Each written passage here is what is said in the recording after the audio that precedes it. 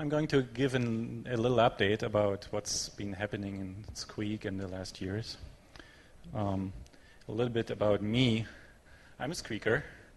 Um, I was a Squeaker since 1997. That's when I first posted to the Squeak mailing list, and uh, some uh, some of you know that.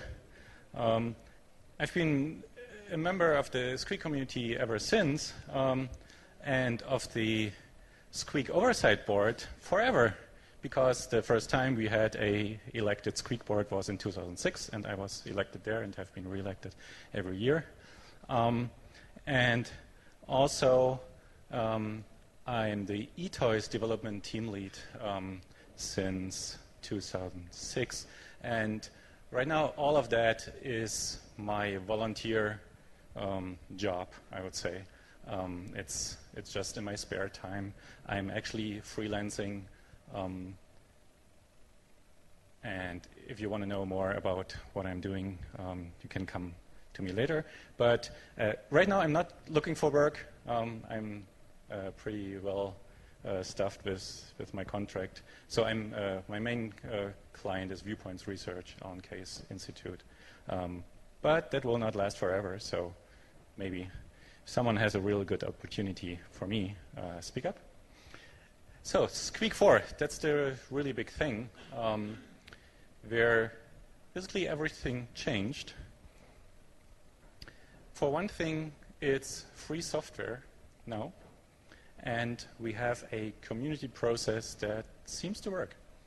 Um, so now developing Squeak is fun again. Um, I'm going to talk about the free software part first. Um, those who are involved in, in the Squeak community um, know that uh, the Apple released Squeak in 1996 as a free software um, project, an open source project, but they chose a handwritten license. And a couple of years later, when, when open source um, became more popular, it turned out there were a few clauses in there that made it incompatible with other sources, um, with other projects. Um, then OLPC happened, one laptop per child, um, which is a little green laptop that's uh, distributed uh, to children mostly in, in the lesser developed world. Um, and that's a laptop that's complete, that's running free software completely. And eToys was going to be on there as one of the uh, more useful uh, software packages. Um, and so we needed to relicense Squeak. So uh, Viewpoints uh, went back to Apple and they got their lawyers to talk and they relicensed their old Squeak from 1996 to um, to the Apache license. And then we went out to all the contributors um, in Squeak and got them to relicense their stuff as under MIT because MIT is compatible with everything. Um, and so in OLPC for the eToys image, we uh, finished that in December 2008. Um, then it took two more years to make Squeak itself compatible and to remove all the stuff that's uh, that someone objected to. And the, the driving factor for that was to be able, oops, to get a legal home for Squeak. So I can announce today that uh, Squeak joined the SFC. Uh, the SFC is this is this Software Freedom Law Center, uh, that's a umbrella organization for free software projects. Um, there are quite a couple of known names here. Um, I've just put them in. Um, I see Mercurial there. Samba is probably known to some.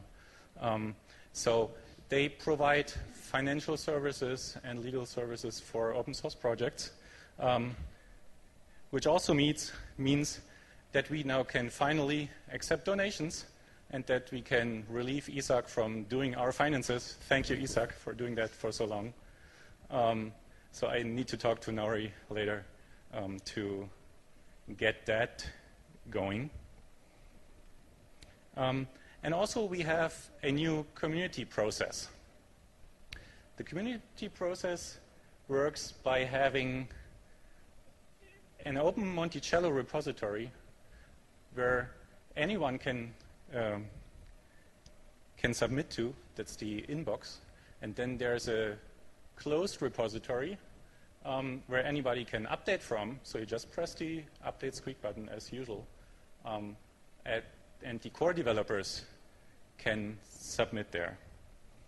Um, we are about 20 core developers right now. Um, and what we, what we found is that in the release processes before, too much burden fell on the release managers because they had to gather all the submissions and actually make them into packages, put them into um, into the release, and it was not a thankful job. Um, many people are not thankful. Um, I know uh, that it wasn't easy for those who signed up to be on the release team, and so right now there's no single gatekeeper and we have a very low barrier to contributing. So if you're using Squeak and you see something that's a little bug or a little improvement, you just save your project, um, you save your Monticello file into the inbox, and that's it. There will be a commit notice uh, posted to the Squeak developers list, and someone will look at it. Uh, it also helps if you send an email to the Squeak developers list, but not even that is necessary. So it's fun again. Um, and it seems to be working. We got uh, 2,700 commits to the trunk repository to date, uh, a bit more, and 1,000 commits to the inbox. Um, so it's progress again. And we that, uh, that free software release was 4.0. It was equivalent to 3.10, looked the same. Um, and 4.1 is where is the first release we did with that new um, with that new process. So we got the new Squeak look now, nice and clean. Although we still have colored windows, you can choose. Um, we have the closures from Eliot's Cog work, and also uh, we we worked on modularity, so there are about 30 packages you can unload now. Um, and let me show it to you briefly so not everyone has seen Squeak in a while. I'm going to toggle full screen. Does that work? Yes. Um, so this is, no?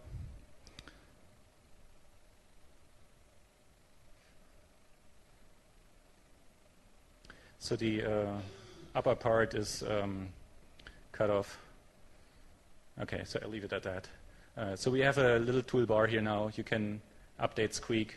Um, you can search for classes or methods in here uh, right from the toolbar. That, that works nicely. So let's say object.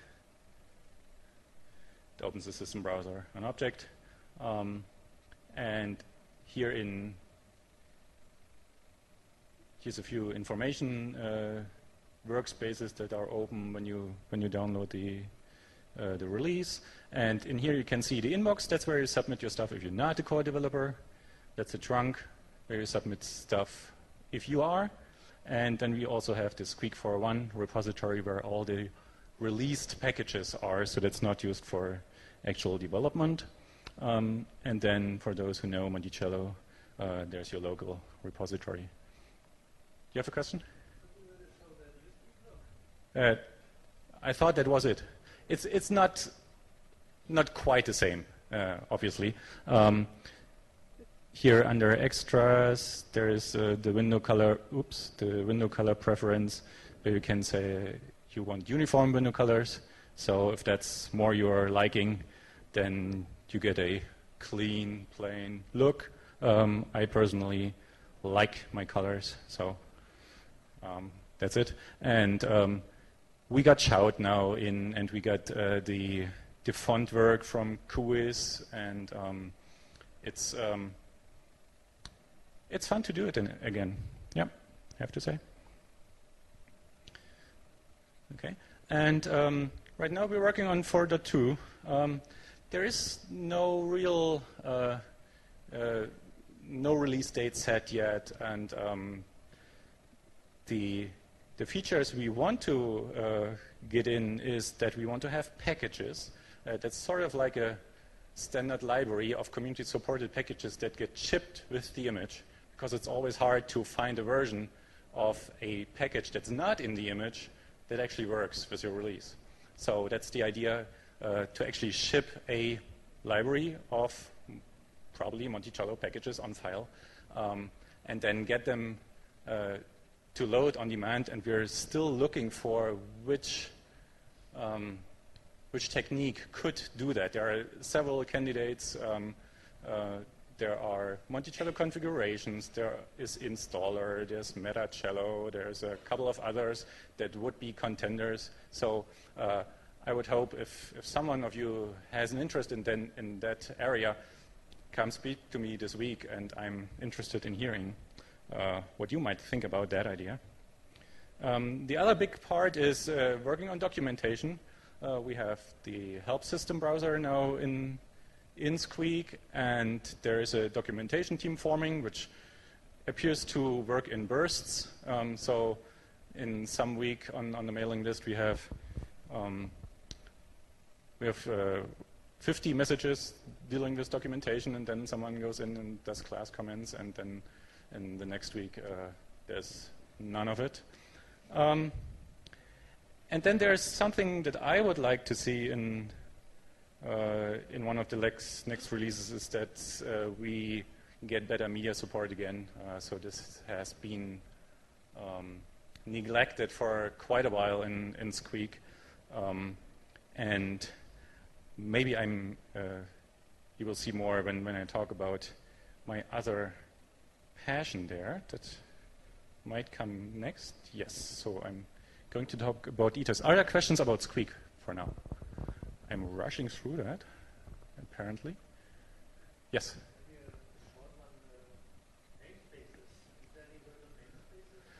How many? uh, which is a bit of a problem because none really found the acceptance yet. Um, so I would like to see a simple namespace solutions, and they're like what Göran uh, implemented. That that looks like the right level of complexity to me doesn't have to be more complex than that. Um, we will get there eventually. Um, do you have a favorite? No. Okay. Yes. Yes. Uh, I would like to see that. Anything else? No. Um, okay. So eToys. As I said, I'm the lead developer. That doesn't mean I'm uh, I'm the only one doing the work. Um, so there are many more uh, doing it. OLPC was the um, the event that happened uh, so that uh, work on, on eToys started again. So Viewpoints financed that for two years to port eToys onto the little OLPC machine. Um, and it turned out that this was a strategically really cool thing um, because eToys is now part of Sugar officially. Uh, Sugar is the user interface framework of the OLPC uh, laptop.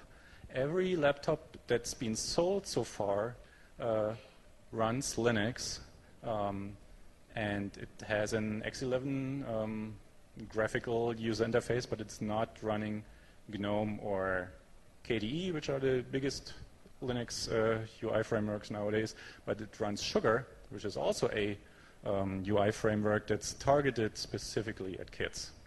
Um, and there has been some talk about Windows being involved uh, or Microsoft being involved with that. Yes, there have been um, pilot tests, but no country actually chose to give Microsoft money. They are shooting for Linux, um, unsurprisingly. And so what, what we did is we piggyback on um, on Sugar to get into Linux distributions. Um, so what I do is I build the eToys packages and I do not include a virtual machine. But because eToys is part of Sugar and there is interest in the Linux community to package Sugar, um, they need to package a Squeak VM too. So there need to be Squeak VM packages that are maintained by the Linux developers. So it's not even us who has to do the work, because that is always the problem. Doing a virtual machine that works on any Linux distribution is impossible, period. That's not something a single person can do, because you cannot know the details of all the Linux distributions. But there are people who do. Uh, that's the users of those um, distributions. And so we just gave, give them a tarball here. That's our sources to the, to, the virtual machine. That's nice. That's just C code.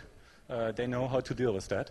Um, and so they built a virtual machine. So we have a 4.0 VM, a Squeak VM, in Debian, in Fedora, and a couple of uh, minor, um, uh, not as big Linux distributions. Uh, so that's a big progress because we always have that bootstrap uh, problem. Um, say I have a Squeak image here, or a Pharo image, or whatever uh, other Squeak compatible image queues. Um, uh, how do I run this on this machine? And if there's a VM, that's already a big bonus. And there's a problem with the Squeak or the Smalltalk image model. Um, the free software people do not like images because to them it's just a big binary blob of things they cannot introspect. We as Smalltalkers know, okay, you could look in there, you have all the tools you need to look uh, at the image, what it is. But they, they fear that, um, and so eToys is still not officially in Debian, um, but it's easy to install. So we have, there are packages that are done by Debian people, but they are in the non-free section. And they're in the non-free section not because they're not free, but because they cannot be, uh, the Debian uh, gatekeepers won't let it in to the official Debian thing. So um, I'm not really sure what the what the best way uh, to to deal with that would be. Um, maybe someone actually needs to sit down and write a bootstrap, so that you just file out all the sources, build an image from that. That would be fine with them, but they really want to see, okay, from this version to that version, what did change? Um, even though nobody probably is going to look at it, they want to have that trail, that paper trail. Um, so we cannot just release a new image. Um, Anyway, so um, I would urge anyone who's thinking about doing an application, a Squeak application, a Pharo application, whatever, uh, uh, for Linux, uh, to not include a virtual machine. Doing it is a cheap way out, and we, eToys has been hurt a little bit by that because we used to offer RPMs and Debian packages on the Squeakland website, but by providing these packages, nobody in the distribution was interested in doing them. And so we didn't get the widespread uh, adoption. And now we do not offer um, pre-built packages for eToys anymore on the Squeakland website, but we just have a link to our sources, Tarball, and anybody who wants to build it for their favorite Linux version can do it. Um, so just as a little bit of a reminder, um, eToys uh, goes way back to the original idea for Smalltalk. Um, so that's a sketch Alan Kay did in 1972, um, where he wrote a paper um, about his vision of a dynamic book of the future. So you can see a little tablet-like laptop there. Uh, he even built a model out of cardboard. Um, and there was a software to be running there that could be modified even by kids to, um, to adapt it to their needs.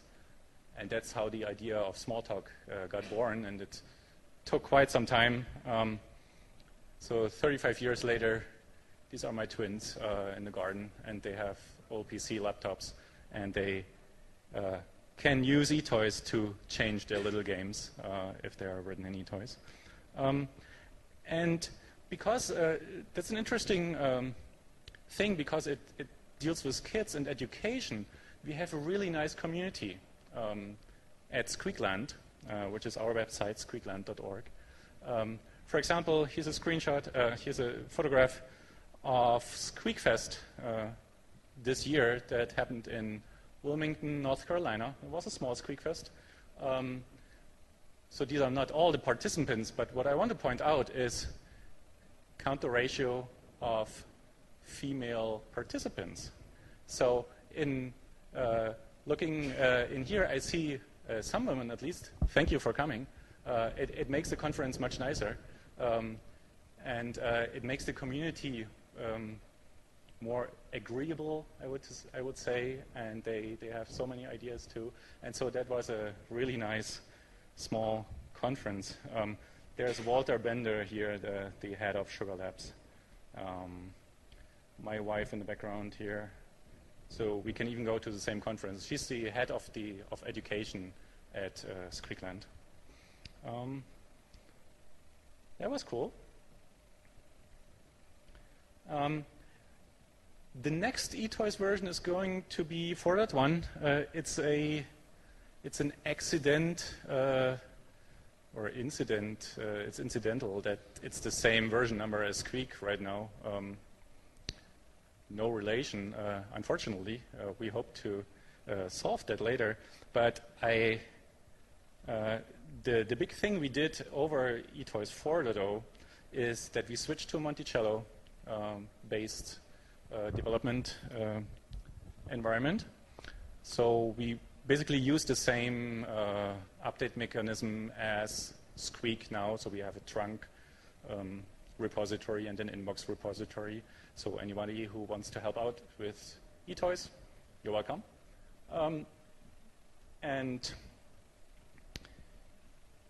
it's it's a little bit different because uh, well, that gets too technical. So we still haven't have a change set stream, but the change set stream basically triggers Monticello updates. So it's a superficial difference. Um, one big thing uh, that we got in is Dr. Geo by Hilaire Fernandes. So that's a really nice addition. Um, otherwise, we don't have much new features, I think. Um, Oh no, on the next page there, there will be else, something else. And uh, I did a release candidate yesterday uh, here at Camp Smalltalk, um, so that was cool. Uh, the actual release is going to be in two weeks from now. And you can go to squeakland.org and download it there. Uh, there's even the, uh, the release candidate. Um,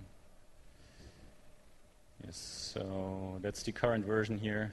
So there's only a Windows and a Macintosh download. And then we have something called eToys to go.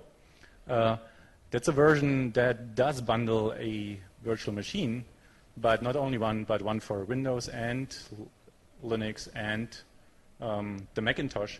And you put that on a USB stick, and then you can work using that USB stick uh, on a Mac and on a Linux machine and on a Windows machine, and you have your projects just on there, and you just take them with you. It's a really convenient thing, uh, in particular because some schools lock down their computers so that even the teachers cannot install uh, any software on there. So that gets around it. And below here, there are release candidates.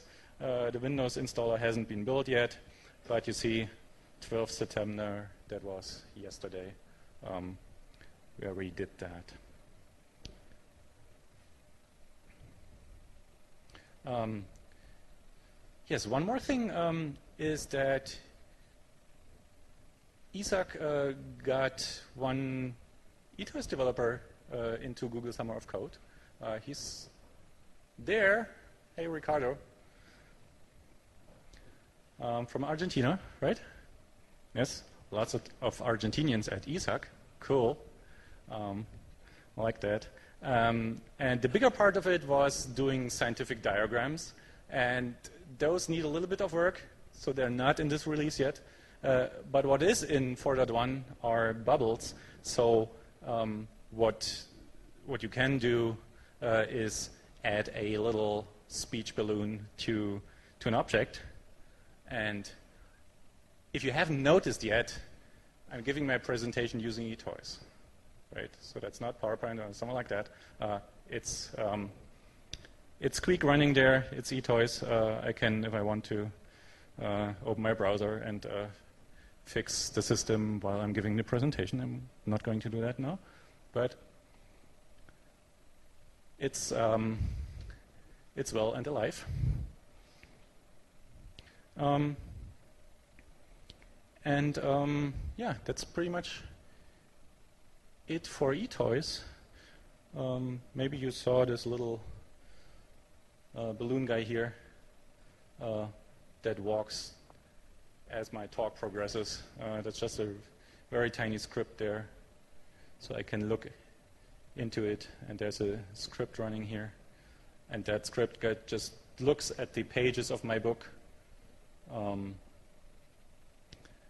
and it counts the number of pages and it calculates a fraction and then if my balloon is too far to the left it goes to the right and if too far to the right it goes left that's how you do that in, in eToys and um, it's fun um, so um, questions about the eToys part No, so far. Good. Um, oops. Yeah. So I, I think I should uh, say a word about forks. Um,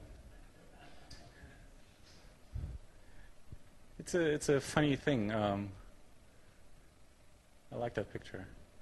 Um, so forks. Yes, uh, th there was a question about uh, what the relation between Pharo and Squeak is. Um, and my take on it is that it's, it turned out to be a good thing. It took a lot of tension out of the community. Um, both communities are prospering. Uh, there's a lot of cross fertilization, I would say. There are some people who are in both uh, communities and exchange fixes between this and that. And there could be more of it, true. But um, on the other hand, uh, nobody has too much time, right? So I, I started to follow the Pharo list. I, I needed to unsubscribe again because I just couldn't deal with the volume. In addition to my OLPC list and my Sugar list and my Squeakland list and the Squeak developers list and a couple of others. So uh, I'm not actively participating uh, in there, but I, I see that there is a that there still is a lot of common ground. And I, I think that in the future uh, there will be even more. And um, just like we're sharing the Squeak virtual machine, um, I think that there could be even more sharing. Um, so talking a little bit about the future. Um, so the, the, future of eToys uh, is Squeak, uh, in my opinion. So we, we did fork um, at 3.8. So 3.8, Squeak 3.8 was the last thing where we sat down and merged the changes from eToys to Squeak and from Squeak to eToys. Um, and after that, uh, nobody found the, the, time to, to do it. Um, and so now it's uh, it's a good time again. Uh, so that was one thing why we why we switched to Monticello. So with Monticello, it should be a lot easier to compare what is in eToys, what is in Squeak, and just move everything over. Um, and uh, the way we, we do the refactoring in Squeak is that we keep stuff working. Um, so uh, it takes a lot longer than just ripping it out, but also it, uh, uh it leaves the fun stuff in. So um, if you want to really see some fun Squeak, there's, a, there's an image called Fun Squeak, by Edgar from South American, Um, hmm? Argentina. Huh? Okay. Um, so, so he did, does really cool, cool squeak, squeak images that had, have all kinds of media stuff in it and really cool uh, things. Um, and so I can recommend it. It's on the Squeak download page, squeak.org slash download. Um, so then for us, because we are only a handful of developers at eToys, it takes a lot of pressure out to maintain the whole stack of the system, right? If you just have to concentrate on the eToys part, uh, that would be good. Uh, it's also a bit of work to even identify what the eToys layer is because it has its roots everywhere. Someone who tried to clean up Morphic will know that. Um, so it's not, not going to be simple, but we'll try. Um, one thing that I would like to see, I'm not sure how soon that, uh, that could be uh, working, is having a common kernel between Squeak and Pharo. Because I don't really see the point of having two implementations of the collection classes or something, like, something on that level. Um, so that would be cool. So not only sharing the Squeak VM, but the, the lowest layer above that, at least. Maybe. Um, but above all, um, what, what we at Squeak uh, try to do is having fun. It's, uh, it's a pretty much uh, a, a volunteer-only um, affair. Um, we're trying to clean it up, but uh, it's also that we want a personal computing system. And for example, I want to be able, uh, I expect from, an, from a personal computing system to be able to give a talk like this.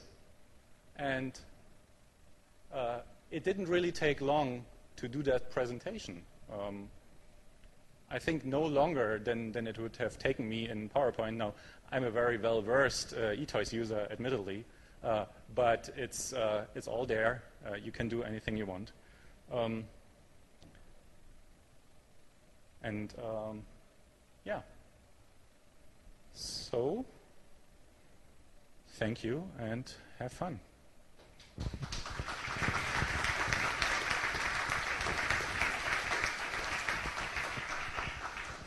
Um, there's one thing I, I want to show you.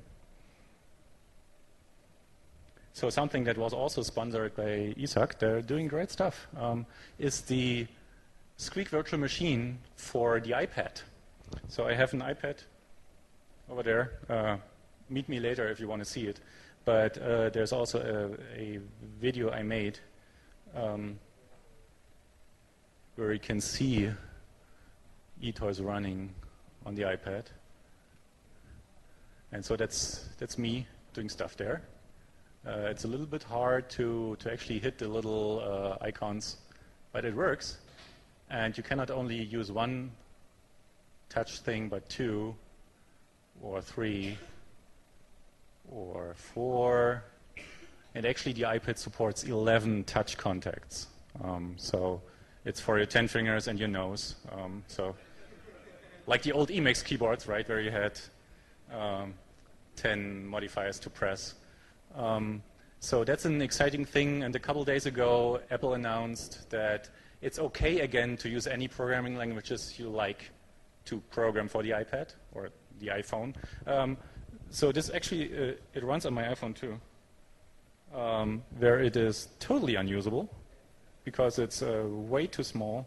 And when you try to use it, uh, you, you see that it's going to to be really hard to, to redo the UI. Um, so it's working. Not sure if you can see anything, but the little car is moving. And I can zoom in. Yeah. Okay. Um, so doing something uh, with uh, tablet devices uh, is going to be important for eToys because OLPC is planning to do a, um, a tablet version of DirectX, uh, which makes sense because the more um, the more units you do uh, that are the same, uh, the better it is. It's more robust. You do not have to have a localized keyboard. And uh, there are so many languages on the world that un it's unbelievable. Um, so eToys is translated into about 20, 20 languages by now. Um, but uh, in particular for kids, it's important that they see the software in their own language um, because learning a foreign language at the same time as doing their, as learning uh, programming or something else, it, it's just a double burden for them. So that that's not not a good idea. Um, yeah, and you can even do Smalltalk programming there. And there it gets really ugly because trying to hit the scroll bars is uh, next to impossible. Uh, it helps if you if you use a little stylus, but um, no good. But just a classic example. So three plus four. Hold down my command button and press P, and there's seven. Yay.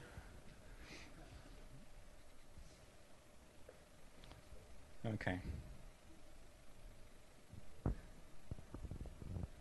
So, but um, if you have any more questions, um, I believe you have five, five more minutes before the next speaker. Yes?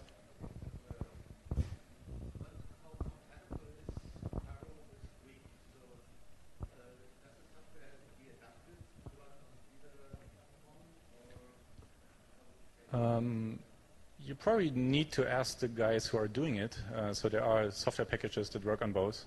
Seaside 3 works on both. Um, I don't know what needed to be done to Squeak to make it work. I just know it, it, it, that there's a package for it. Um, so they haven't diverged that much yet in the, in the, at that level, uh, which is good in my opinion. Um, but uh, because I didn't really try to port anything from Squeak to Pharo or vice versa, I cannot really tell. Uh, but there probably are people here you would you could ask. well, yeah, why not?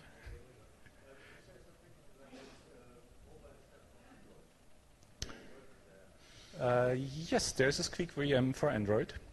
Um, it's not finished yet, as far as I know. Um, but uh, what was the latest? I don't know. So the, the thing in, in, uh, in Android is that you do not have executables. It's Java, but you have JNI, the Java native interface. And so uh, the way the Android version of Squeak works is that it packages the VM as a library that gets linked to your uh, Java wrapper, so to say, and um, I think I've seen a screenshot that ran on the Google phone or something like that. Um, and so help is welcome there. And um, I think the, the last uh, thing was that they wanted to get the network stack working so you can do um, VNC into your uh, Squeak image. Um, so um, for example, what, what you saw here um, with the uh, eToys on the iPad, I, I added a, a, couple of things to the virtual machine that was done by John McIntosh and sponsored by ESUG, uh, was the multi-touch thing, and that when you rotate the display, it brings up the keyboard. And so you can actually get keyboard input, whereas uh, I think if you download John's version, you can you only have mouse input, which is a bit uh, leave, leaves a bit of uh, things to, to, to be wished for. Uh, although we managed to do zero benchmark by copy and pasting characters from the browser, that, that works. Um, but it's not fun yet. Um, and possibly uh, the Android thing is in an even less developed state. So,